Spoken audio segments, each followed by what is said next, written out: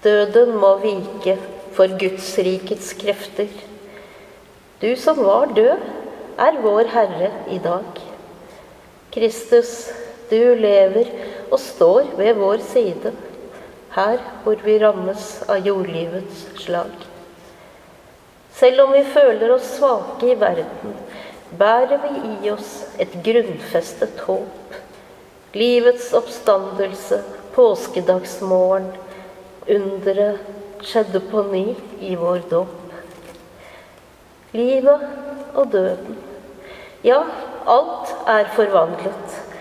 Dåpsvannet gjenspeiler regnbuens pakt.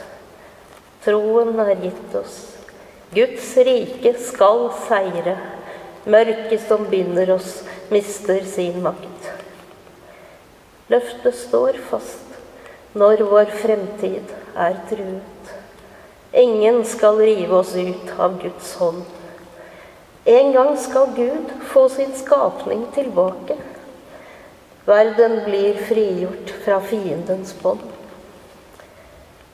Døden må vike for Guds rikets krefter.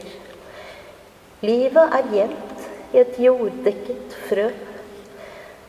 Se, i oppstandelsens tegn skal vi leve.